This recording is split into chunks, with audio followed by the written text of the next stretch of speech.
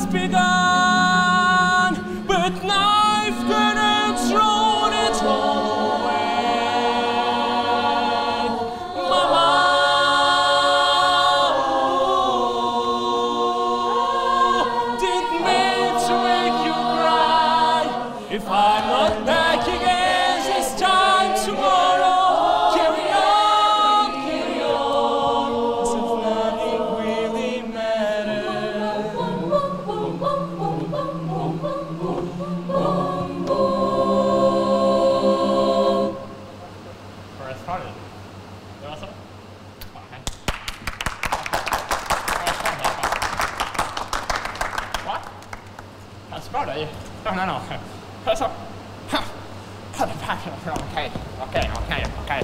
That's part of the Okay.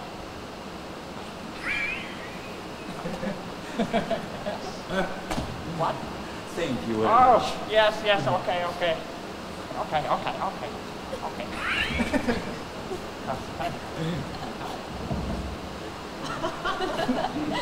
Come on, come on.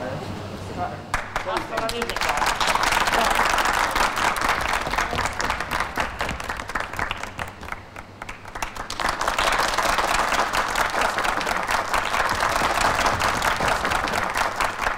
Ассалаумағалейкум арда қазақ. Мінекей алпыс жылдығын атап өтіп жатқан қазақ концерт әлеміне хош келдіңіздер.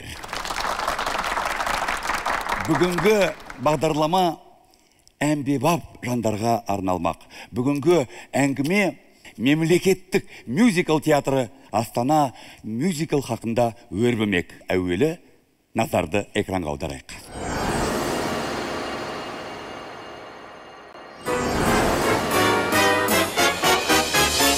Мюзикл әлемдегі ең әйгілі сахналық жанрлардың бірі. Театр музыка және би өнерінің тоғысқан жері. 20 ғасырда ақшта пайда болып нью йорк қаласындағы бродвейді күллі әлемге танытқан мюзикл 4 жыл бұрын қазақстанға келді. 2016 жылы қазақ концерт мемлекеттік концерттік ұйымы елордамызға көшіріліп жаңа бағытта астана мюзикл мемлекеттік театры тұсауын кесті. Ол орталық азиядағы тұңғыш әрі жалғыз мемлекеттік мюзикл театры. Труппа актерлық шеберлікті вокал мен хореографияны жетік меңгерген жаңа буын өнерпаздары.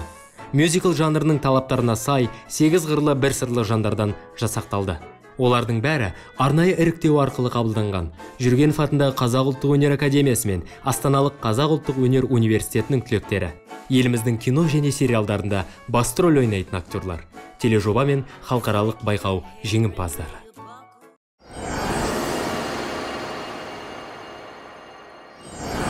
Мерекелеріңіз құтты болсын. Қош келдіңіздер. Э, рұқсат етсеңіздер алғашқы сауал э, театрдың көркемдік жетекшісі ислам нұртазинге бағытталады. Ислам айтыңызшы күрделілігі жағынан тіпті немен салыстыратынымды білмеймін. Бір емес бірнеше күрделі академиялық фундаменталды жанрды қамтитын э, сондай ақ жаңағы альтернативті тенденциялар талап ететін тек қана аншлагты ғана мойындайтын екпіні жүйткіген асаудай жанр қалайша кім қашан? Сұрақ көп. Кім қашан дейтін болсақ біздің қазақстанда опера театры бар драма театрлары бар музыкалық театрлар бар.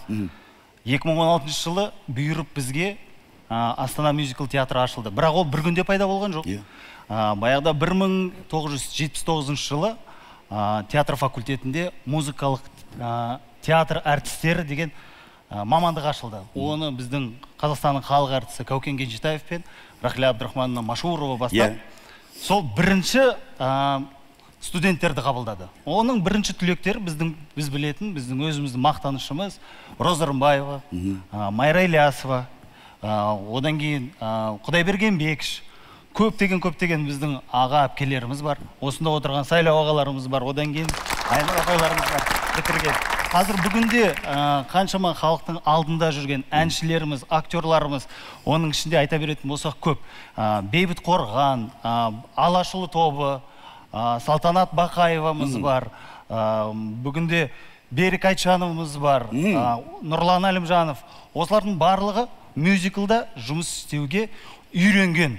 Осында үлкен еңбектің арқасында осы түлектер шығып жатты. Арман көп болды. Осы отырған қыз жігіттер ол кезде арасында студенттер болған арасында енді бітірген ғана түлектер болды. Елордамызға жиналып осы күрделі жанрға ба- барлығымыз кірісіп кеттік. А, демек кастинг болды ғой иә арнайы? Үлкен кастинг болды. Иә бәрекелді. Э, құрметті жастар осындай ұсыныс түскен кезде э, жаңадан орталық азияда жаңадан ашылған театр. Э, бұрын соңды болмаған тәжірибе. Келуге жүрексінген жоқсыздар ма? Ол жерде әрине барлығымызда қорқыныш болды. Иә. бірақ а, академия қабырғасында оқып жүргендіктен барлығымыз арман қуып жүргендіктен бұл жаңа бағыт жаңа стиль бәрімізге қызық болды. И бұны біз тек қана YouTube желісінен немесе интернеттен ә, әртүрлі видеолардан көріп жүрген жанр өзіміздің бойымыздан сынап көру бәрімізге қызық болды. Көптеген ә, шетелдік ә, режиссерлармен жұмыс болды өз басымызда көптеген опыттар болды ә, көптеген тәжірибелер болды ә, көптеген ә, сынам, сынамаларда өзімізді сынап көрдік. Және де шетелдерде болып көрдік. Бұл бізге үлкен тәжірибе әкелді. Қазіргі таңда ә, өзіміздің репертуарымызда бірнеше спектакльдеріміз бар. Солармен халықтың алдына шығып жүрген жайымыз бар. Драма э, өнерінен әлдеқайда бөлек жанр иә? Иә. үнемі градусты көтере беруді талап ететін э, үнемі тек жаңашыл заманауи тенденцияларға сай болуды талап ететін иә? Жанр шаршатып жіберген жоқ па? Келгендеріңе өкініп қалғандарың жоқ па? Негізі біз бала кезден өзіміз ә, былай айтқанда негізі мюзиклді көріп өстік қой мысалы біздің бізге дейін де ол мюзикл деп аталмаса да мысалы музыкалық ә, кинофильмдер Иә. болды yeah. куда одиссей дегендерді Иә, иә. бала кезден көріп Иә, өстік иә. қой соны енді көріп өскеннен кейін осындай театр ашылып жатыр дегеннен кейін біз қуана қуана келдік неге біздің бағымыз сынан басқа біз осылай ай шайға қарамай қойып кеттіңдер кіріп кеттім бар Э, хормейстер және труппа меңгерушісі алмат әбішевтен сұрайықшы трипл а дейсің қалай айтсам екен негізі мына мен теа- театрға келгелі ә, мен үшін үлкен бір, бір сын болды. Театрға келгенде ә, өзім мен хормейстер болға, болуға негізі хормейстермін бірақ ә, бұл жерде өзімнің ә, алған білімім кәсіби ә, хормейстер академиялық тұрғыда. Иә. Ал театрға келгенде капелла. Акапелла жағынан иә. А бірақ театрға келгенде өзімнің сәл ойымды өзгерту керек болды. Шамалы эстрада мюзикл жағына. Сол үшін мен мен үшін бір ерекше бір нәрсе болды. Ең қызығы жаңа драма актері деп жатырмыз бишілер деп жатырмыз ең қызық жері және де ең нашар жері. Ә, драмалық әртістер актерлар. Иә. бізді актер деп қабылдамайды. Иә. Эстрадалық әншілер әнші деп қабылдамайды бишілер биші деп қабылдамайды. Арман аға толтырып кетейінші осы жерде айтып жатқан сөздің несі бар? Жаны. жаны бар. Бірақ оны әнді толықтай кәдімгідей бір жүз пайызына жеткізе алмаған актерларды ғана. Өйткені арасында мына жақта әнші деп те қабылдайды биші деп те қабылдайды актер деп те қабылдайды. Неге онда сіздер оның астана мюзикл деп қойдыңыздар? Не анды емес не мынды емес деп қою керек мына жердегі атмосфераны сөзбен айтып жеткізе алмаймын. Ендеше әңгімені осы жерден үзе тұрып ә, қазір кезекті жаңа ә, ислам бауырымыз айтып кеткен ә, ардақты ұстаз шынында да біздің корифейіміз ә, біздің нар тұлғамыз машурова рахилям апайға береміз. Қазақстандағы ең жас театр жаңа жанрмен пердесін ашқан ол астана мюзикл театры. Бұл театр мына шетелдегі гастрольдерге барып келген. Бізге алматыға ана отчет ретінде осыдан бір екі жыл бұрын келіп бес спектаклін көрсетіп кетті. Артист ән айта білу керек. Роль ойнай білу керек билей білу керек. Пластикалық егер кульбит болатын болса не болмаса сайысқа түсетін болса ана рапирамен қылышпен ә, пышақпен соның бәрін біле, білу керек. Бұл театрда артистердің бәрі қазір талантты артистер деп есептеймін өзім. Мен шын жүректен қазақ концерт ұжымын ә, алпыс жылдығымен мерейтойымен құттықтағым келеді. Бүткіл жұмыскерлерді жұмысшыларды әншілерді осы өнерге келіп өнерін көрсетіп жүрген ә, азаматтарға мен жақсылық тілеймін денсаулық тілеймін ә, табыс тілеймін. Көп рахмет апай көп рахмет. Бәрекелді. Труппаның қатарында мен ә, сайлау мен айнұрды көріп ерекше қуанып отырмын. Драма театрында барлығын дәлелдеп тастадыңыздар. Неше түрлі барлық рөлдерді сомдадыңыздар десем ә, артық айтпаған болар едім. Ал енді мюзикл театрына келіп ә, мынау асау тұлпардай жүйткіген ала құйындатқан ә, жаңағыдай екпінге ілесу қиын болған жоқ. Айнұр айтсын. Әйтпесе қазір мен айтып тастасам менің айтатынымды айтып қойдың дейді бұл кісі. Бәрекелді айнұр ханым иә. Сондықтан осы кісі бірінші айтып алсын. Иә. Енді біз ә, мен өзім курстаспыз. Сосын өйстіп дауласып отырамыз анда санда иә. А, біз енді алыс кете қойған жоқпыз. Иә. А, бізде оқуды бітірген кезде жаңа музыкалық ә, театр әртіс мамандығы бойынша ә, білім алдық. Жүргенов ә, академиясынан. Ә, жұмыс жасап жатқан жеріміз ә, музыкалық драма театры. Ол жерде де енді ә, музыкалық қойылымдарда ә, ойнап жүрдік. Бірақ 2017 жылы бізге жеке менің өз басыма ұсыныс түсті. Ә, ромео джульетта мюзиклында сүт ананың ә, бейнесін сомдауға мен шақырылдым. Әрине үрей де болды қорқыныш та болды дегенмен де ә, осындай ұжымға тап болғаныма мен өте қуаныштымын. Ә, бұл өте жас ұжым. Энергетикасымен ә, өздерінің жаңағы шексіз қиялымен бұл балалар ә, адамды баурай біледі. Иә. Ә, мына отырған қыздар мен жігіттер қандай әдемі қандай сұлу ақылды талантты білімді осындай бір ә, былайша айтқанда сен тұр мен айтайын деген қыздар мен жігіттерді дәл осындай бір ұжым жинап дәл сол ортаға ә, менің енді өзімнің келуім ә, осы бір мюзикл қойылып жатыр сол, сол жердегі осы бір партияны айтып берсең деп шақырған кезде шынымен де бұл бір мен үшін керемет ғажап бір уақиға болды. Себебі мен ең бірінші осы кіріп келген кезде мың бұралған қыздардың биі мына жақтағы ә, классикалық емес эстрадалық емес соның бір екеуінің ортасындағы бір керемет бір вокалдық ә, бір ешқандай сипаттамаға бағынбайтын распевкалар. Адамды былайша айтқанда елтіп кететін дүние. Театрдың ашылуы біздің ә, өнер әлемінде кәдімгідей сенсация болды. Бомба жарылғандай болды иә? Біздің ашылуымыз шымылдығымыз біздің ә, достар серті мюзиклімен ашылды. Әйгілі дос мұқасан ә, тобының ә, әндеріне құралған. Бұл 60-шы 70-ші жылдардағы өзіміздің консерваторияда оқып жүрген музыкаға ғашық сахнаға ғашық студенттердің өмірі.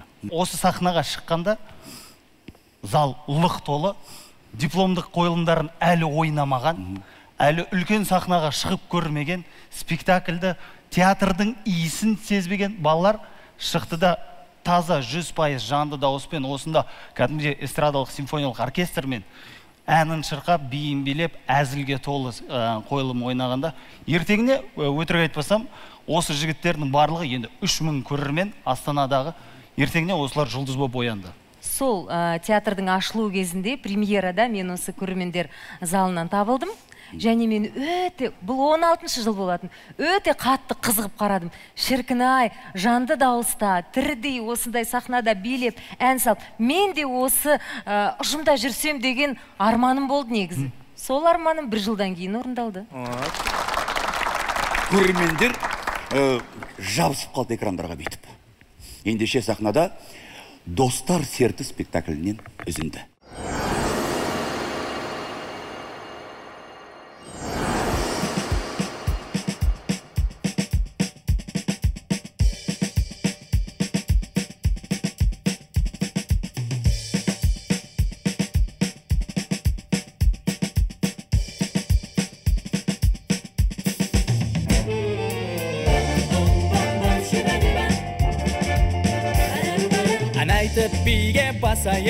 Келіңдер думан жасайық. Қараңдар келді жаңадан студент болам деп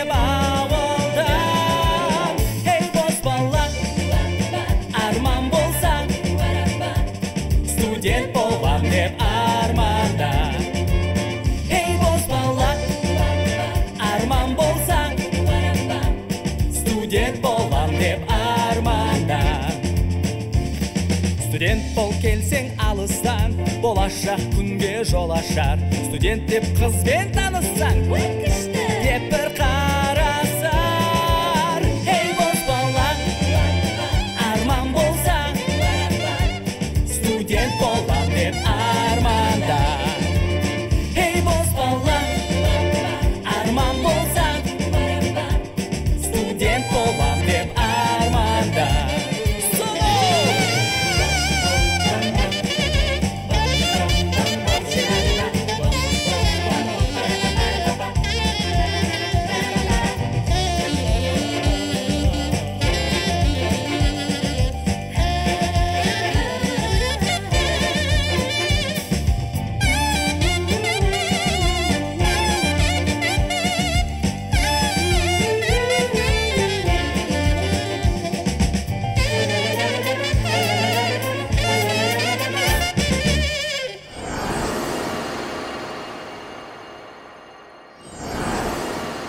мен өз кезегімде ислям ағай сізге рахмет айтқым келеді.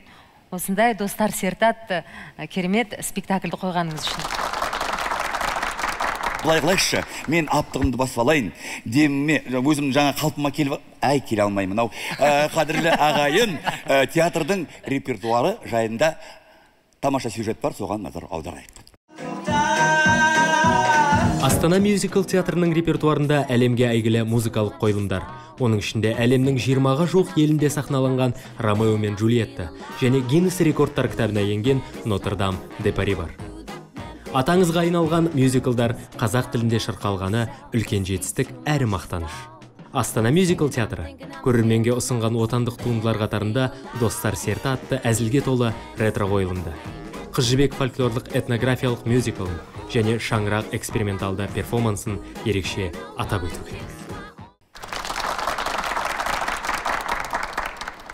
Мына тізімге қарап отырып осы ғимаратқа келген өнерпаздардың ішінде качанты талар пресс гюрлик деген әлемге аты әйгілі жандардың есімдері тұр. Сол жайлы ашып айтып берсеңіз.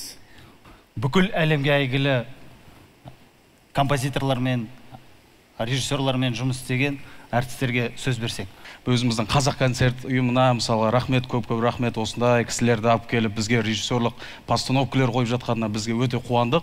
Ол себебі рухани жаңғыру бағдарламасымен де мысалға біздің елбасымыздың ә, қолдауымен осындай бір жақсы дүниелерге біз қол жеткіздік. Мен үшін ең керемет болғаны ол ә, ең, ең мықты мюзиклдардың бірі нотр дам де пари. Иә. Онда Әлемдік рикардо качанте деген ол деген не деген кісі ғой былай айтқанда. Біз өзіміз сонымен осылай сөйлескеніміз айтшы ұлан әкел алып кетейін деп. Басын лақтырамыз осылай. Ол кісілермен жұмыс істеу өте бір бақыт болды біз үшін. Көп көп рахмет. Үйренетін нәрсе көп пе екен? Иә олардан біз ә, ең басты біздің үйренген жағдайымыз мен үшін. Білмеген білмегенімді үйрет пунктуальность болды ғой. Біз деген долларлардан сегіз десе сегізде жұмыс істейді. Иә. біз деген білесіз ғой қазір кешігіп қаламыз бірақ бір айдың ішінде қаншама біз сегіз болса сегізде жеті болса жетіде тұрып неше түрлі арияларды айтып сондай бір ә, жұмыс жасадық. Нотр дам де пари мюзиклінің бір ерекшелігі ол жерде жұмыс барысында ешкім ешкімнің жұмысына араласпайды. Декорацияға жауап беретін өзіндік бір адамдар бар музыкаға жауап беретін өзіндік адамдар бар режиссураға жауап беретін адамдар бар. Ол жерде а, біз жай ғана жүріп өз жұмысымызды орындадық. Негізінде м, кастинг 2018 жылы басталған болатын. Ол кезде мен университетті бітіріп театрға енді орналасқан кезім еді. Сол кезде үлкен кастинг болды. Екі айға созылды түрлі түрлі жан жақтан әртүрлі әншілер бишілер Бүкіл Қазақстан бойынша, да? бүкіл Қазақстан бойынша. иә мықты музыканттар қатысты солардың ішінен сұрыпталып енді ең ең деген адамдардың бірі болып шықтық қуан бұл енді біздің бір мақтанышымыз. Шашын қараға бояған мэрилин монро атты мюзиклдың бас героинясына қошемет бәрекелді. А иә және де бұл мюзиклда шашымызды сарыға бояған болатын неге? ана аналар үйреншікті атмосферада жүру үшін ба? Жоқ жоқ ол образға байланысты. Ол кісілермен бізде ол жағынан ешқандай кедергі кедергі болған жоқ. Өйткені сахнаның тілі бір. Біздің жаңағы аға буындарымыздан үйреніп келе жатқан ислам ағамыздан айнұр апайымыздан сайлау ағаларымыздан үйреніп келе жатқан біздің осы біздің актерлық шеберлігіміз бен ол кісілердің шеберлігінің арасында ешқандай кедергі болған жоқ. Біз тез сахнада бір бірімізді түсініп тез жұмыс жасап кеттік. Ә, кейбір театрларда мынандай бір мәселе бар шешілмеген. Проблема. Ол режиссердің диктатурасы және актерге еркіндік бермеу. Ол жерде сіздердің пікірлеріңізді нұсқаларыңызды ұсыныстарыңызды қабылдай ала ма мамандар? Мюзикл деген нә- нәрсе ол өзінің бір франшизасы болады. Иә. ол қалай қойылды? Арман аға оның қиындығы да сол. Кезінде ә, нотр дам парижде қойылды.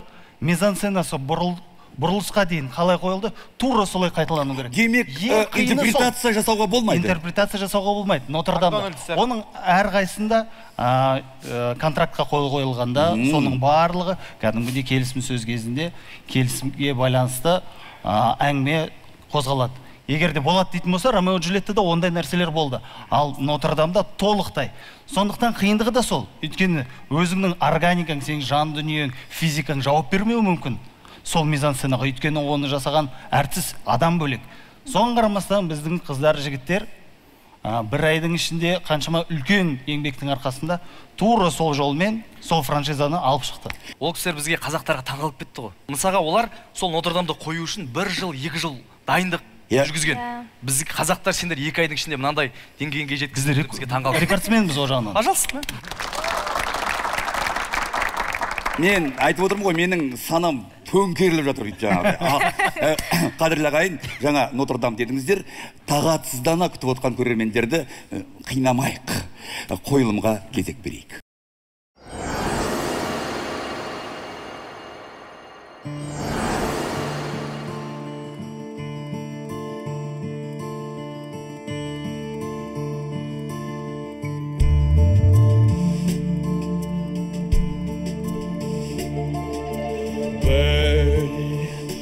Сөз арнап айтылғандай саған.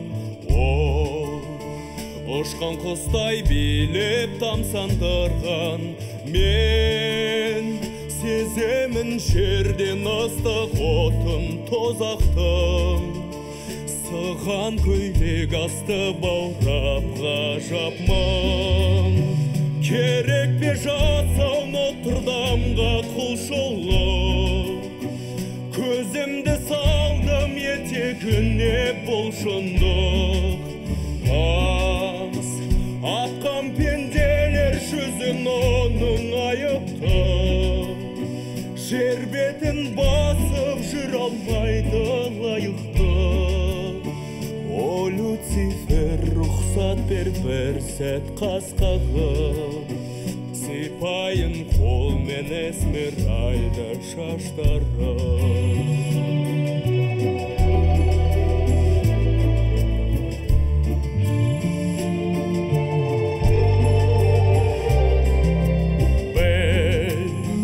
сайтан боп арбайтын қыз ба өзі ол. Құдайға деген ниетті бұзды сол. Нәпсі құштарлықты оятқан жалынбай көкке дұғамнан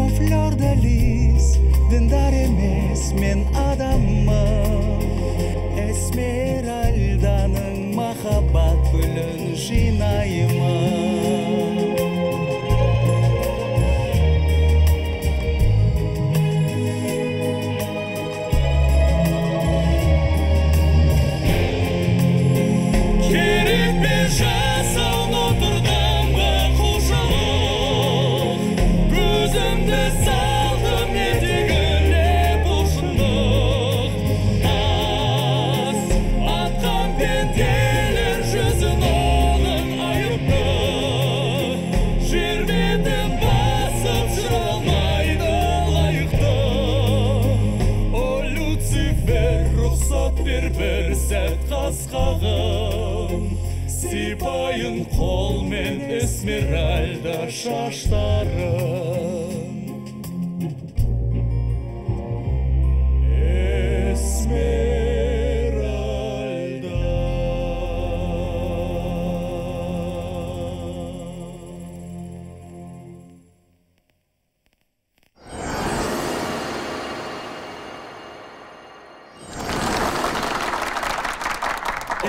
репертуарды тек қана шетелдік қойылымдармен ғана жасақтамай отандық авторлармен де ә, жұмыс жасайды екенсіздер. Ә, бізде ондай жалпы жанрда ә, дүние ұсынатын авторлар көп пе?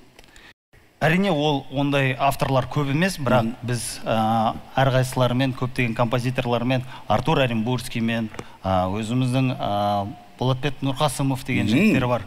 Солармен барлығымен келісе отырып бәрімен жұмыс істесе отырып олар ә, өздері жазып сосын алып келмейді. Біз репетиция кезінде көп нәрселерді өзгерте отырып әдейілеп осы Step by step. степ бай степ әдейілеп осы жігіттерге қыздарға арналып жазалады. Әрбір ария әрбір тональность әрбір оркестровка осылардың оң жамбасына келетіндей. Сонда а, айтылып жатқан жасалып жатқан еңбек а, жемісті болады. Ғарыш зымыран құрғандай болады екенсіздер ғой иә бірден Иә, иә, иә. бұл ақпаратты қорытып алу керек. Әзірше экранға назар аударайық. Себебі сіздерге деген ерекше ыстық ықыласын сәлемін ә, қазақ театр өнерінің корифейі халық әртісі есмұхан обаев ағамыз жолдайды. Жеңімпаз жүйрік талантты бүгінде алпысқа келіп отырған қазақ концерт ұжымы сіздер бұрынғыларыңызды ұмытпаңыздар. Ұлылар ашқан үлкен шаңырақтың алпыс жылдығы құтты болсын. Өйткені мен сіздің көркемдік жетекшісі ислам деген батырды студент кезінен советтің тілімен айтқанда пистолет кезінен танимын. Ә, өзі бір ә, алғыр жігіт болғыр жігіт болып тұрған жігіт. Және өзі бастан аяқ қай жерде жүрсең ылғи бір қайнаған оттың ортасында жүреді. Міне осындай балалар осындай артымыздан ер жетіп келе жатқан жас режиссерлар. Бүгінде былай қарасаңыз ат, атынан ат үркітеді бүгін бұл кісі доктор пейдж. Кеше ғана соның төмен жағында оқып жүрген кезде біз бұл кісілерге сабақ бердік мына мен лишний магистрант кезінде сонда бір көретінім бұл түні бойы ұйықтамайтын қазақтың бірі осы болу керек енді мына сіздерге де соны жұқтыратын шығар өнер тек ізденген қазда кезде ғана пайда болады оған ғашық болған кезде пайда болады оны құдірет тұтқан кезде пайда болады сондықтан бұл өнерді өзіне құдірет тұтып өзін соған бағыштау бұл екінің бірінің қолынан келе бермейді және алла оған көп бұйырта бермейді көрдіңіздер ғой иә әдемі әдемі не деген харизма не деген ә, танкінің темпі ғой. Иә. а мына жерде кілең мазератилар отыр да. Арман аға жалпы есмұхан ағайымыз айтты ғой өткендеріңді ұмытпаңдар деп. Ежелден абай атамыз айтқандай қалың елім қазағым қайран жұртым ұстарасыз аузыңа түстау мұртың дегеннен бері осы күнді аңсап келді ғой. Абай да шәкәрім де сәкен де бейімбет те ілияс та мағжан да сұлтан махмұд та одан ары қарай батысқа қарап атырау атыраудан махамбет те. Осы күнді аңсап келді. Осы күнге келіп өткендеріңді ұмытпаңдар деген есмұхан ағамызға астана мюзикл театрының атынан үлкен алғысымызды білдіреміз. Астана мюзикл қазақтың қыз жібек дастанымен европаны аралап шыққан екен. Ендеше сол гастрольдік сапар туралы бейне сюжетке назар аударайық.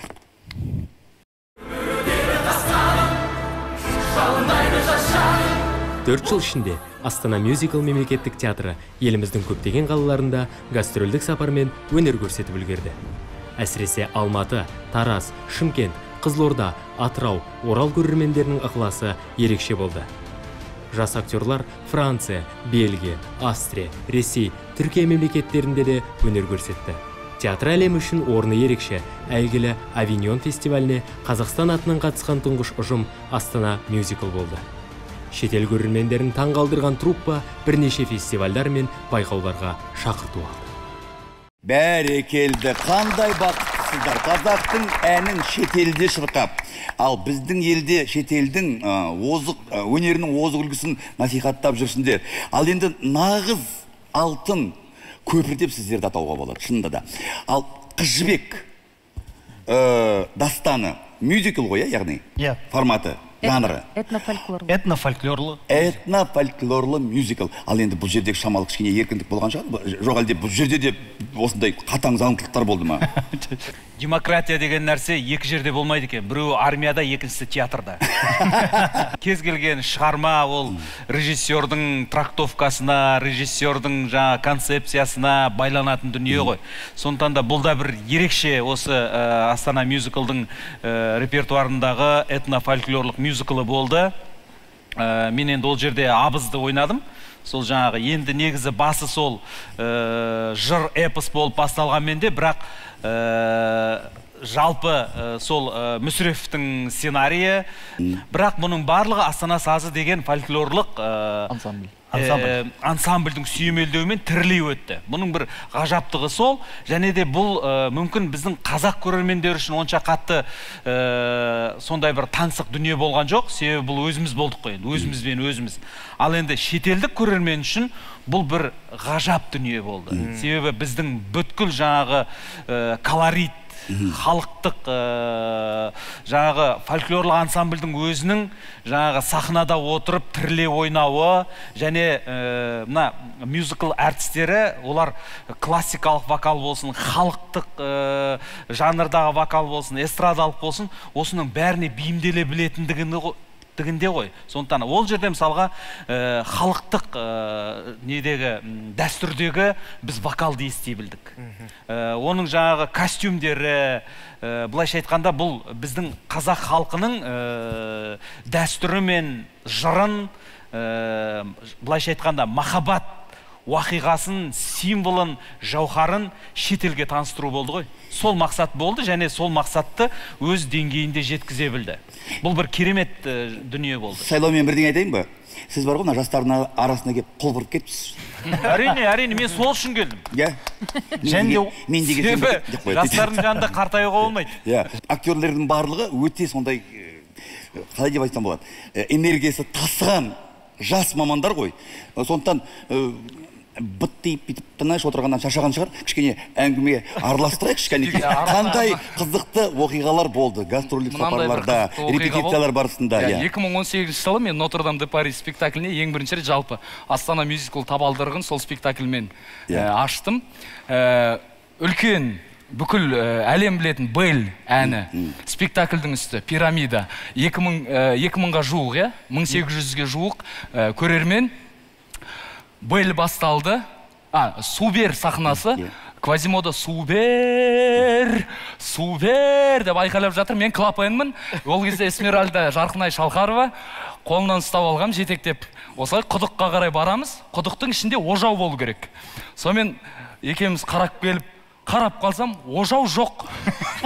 Квазимодаға су апарып беру керек. Квазимода анандай жерде тұр түтінде емес музыка кетіп бара жатыр. Иә музыка кетіп жатыр. Жарқынай маған қарайды. Немен бересің деп. Мен де ойланбастан бүйтіп қолымды алып салдым да былайынан қолына құйдым. Сосын оны жетектеп алдына апардым квазимоданың. Квазимода да қарап тұр ғой енді. Соны бір кезде енді берейін деп жатса мен бүйтіп мен ана оправдывать етіп жатқан түрім ғой. Ана суың ағып кетті кетіп қайтадан. Оны қайтадан барып қайтадан салдым да құйдым да. Соны екеуміз барып сонымен осылайынан символический тұрғыда осылай берді. А- спектакльдің аяғында роберт мариен бағанағы режиссер о о yes yes improvisation improvisation. Сондай бір қызық оқиға болған. негізінде шынында да ә, бұл тапқырлық вы спасли спектакль поэтому вам э, положена премия. қоса кететін бір қызықты оқиға бар. Біздің дебюттік спектакліміз ғой достар серті атты. Программа жүріп жатыр. Және достар серті деген спектакльда жаңағы екінші этажда балконда жігіт қызға ғашық болып қалады да соның балконына келеді ар жағынан пушка түседі де қыздың силуэті жаңағы неге түседі ғой. Көлеңкесі. иә көлеңкесі түседі. Сол кезде ана қызды шығармай қойған біреу ұстап тұр. Ана жақта қылқынып мен отырмын. Иә. Еркебұлан дегеніміз арамыздағы актер бар керемет актер. Міне ойыңды көрсет сол актер әлгі қыздың орнына шығады. Шашы мынандай еще еркебұлан екеуін сразу танисың ананың көлеңкесінен ары қызым ба? Сөйтеді де жаңағы жігіт келеді де гүлімен терезеге қарап қалса еркебұланды көреді ғой. Ары қарай спектакль болмады.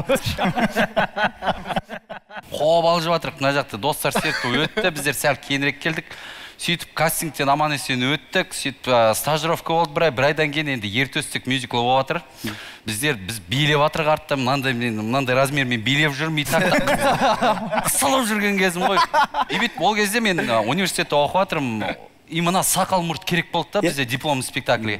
Ислам аға келді да так всем побриться деді да маған мен тұрмын «Я- ислам аға маған спектакльге керек ғой». жоқ всем побриться деді да кетті мен жүрмін и все ана жақта ағайға қалай айтарымды білмей жатырмын мына жақ побриться надо деп сөйтіп жүрмін да мына жаққа скотчтар жабыстырып қойған ғой бүйтіп гримді алып қойғанмын сосын ислам ағаға келемін я говорю ағай видать он говорит нет видать убери содан кейін мен не істерімді білмей мынаның бәрін ақ краскамен жағып қойған ғой бүйтіп ақ краскамен ақ краскамен жағып қойған көрінбесін деп сөйтіп жүрмін жүрмін сахнада. Ислам ағай қараған кезде бүйтіп билеймін көрсетпейсің. Сөйтіп көрсетпеймін. Спектакль бітті мюзикл бітті. Содан кейін мен бүйтіп я говорю что ислам ағай не заметили да? Он говорит да нормально я прикольнулся дейді ғой жас актер естідің ғой.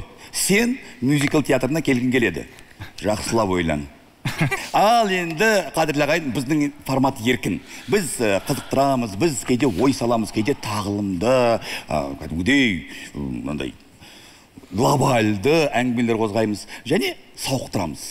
Қазір барлығымыз флешбек яғни ә, театр факультетінің бірінші курсына оралсақ. Сіздерге пародиялық тапсырма беремін. Сіздер берілген тосын ә, жағдайға сәйкес болып сай болып әдемілеп көрсетіп берулерің керек.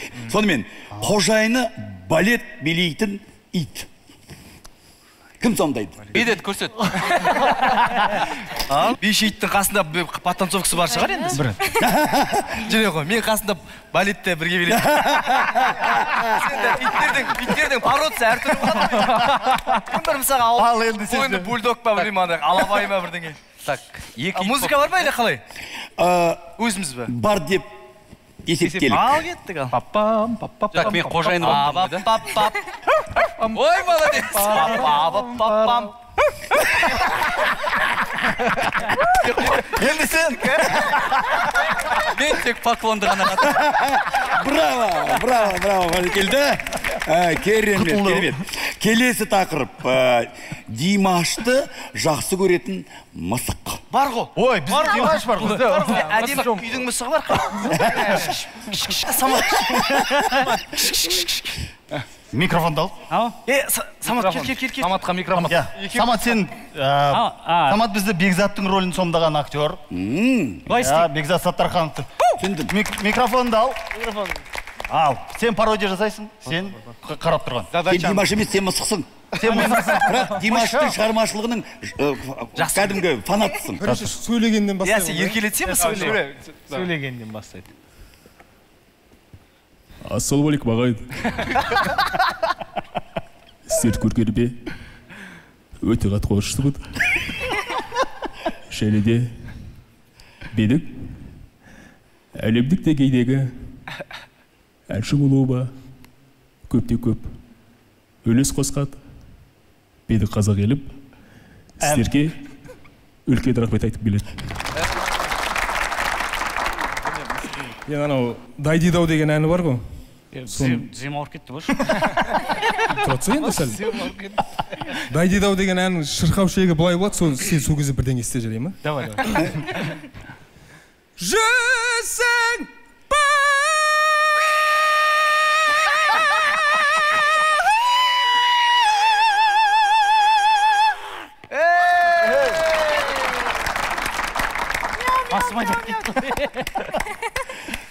керемет браво браво браво браво браво.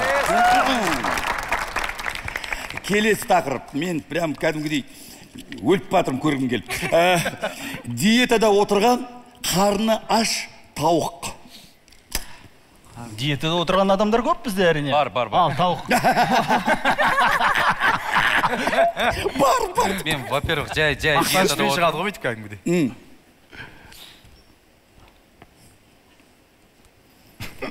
Осы мен просто диетада отырған адамдарды түсінемін и тауықты тем более түсінемін әрмен қарай кеттік зачет зачет абсолютный. Үнді сериалын көретін сиыр. Ой үнді сериалының актерлары да бар. Нұраға. Пейс давай нұраға. Бір ән бір әннен. Chicken amona. Sir. Al ah, sir sir sir Sirma. Gel tele pala kele pere pala pala po ba. 13 глег индийцерсің. Давай, давай, екеуің бірге шығып кетсін. Тут же де как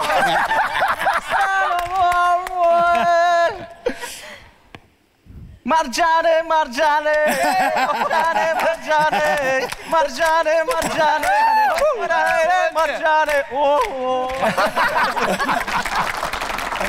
бәрекелді. Мен түсіндім. Э, құрметті көрермендер мен түсіндім. Бұл психологиялық әдіс. Бұл кісілер әдейі бізді алдап жатыр. Бізді қыздырып жатыр. Делебемізді қоздырып жатыр. Бір біріне бас беріп финт жасап алдап жатыр бізді. Э, біздің қызығушылығымыз арта түссін деген мақсатта. Ендеше тезірек тезірек қойылымға кезек берейікші.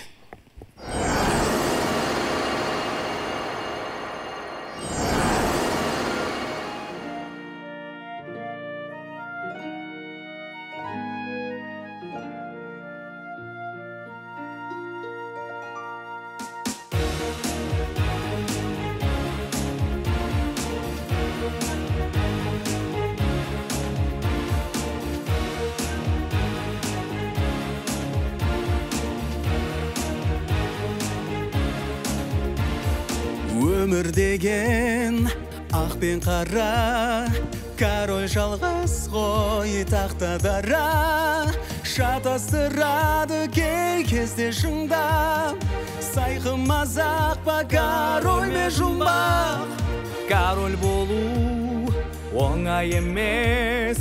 Жасықтарға бұл қолай емес. Жерден ғажап әлемді іздесем кейбіреусем біз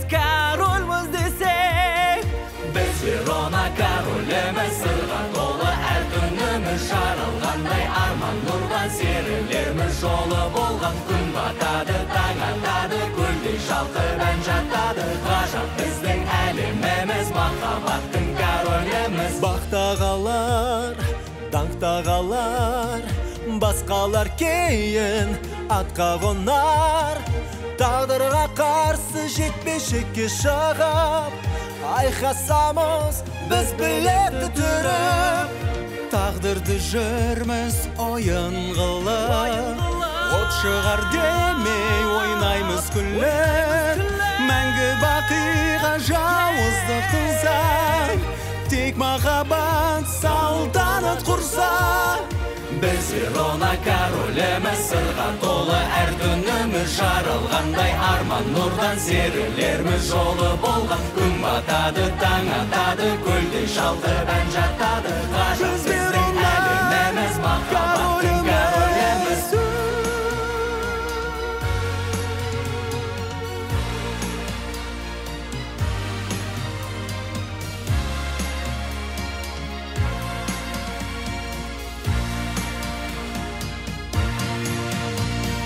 біз верона короліміз сырға толы әр түніміз жаралғандай арман нұрдан серілерміз жолы болған күн батады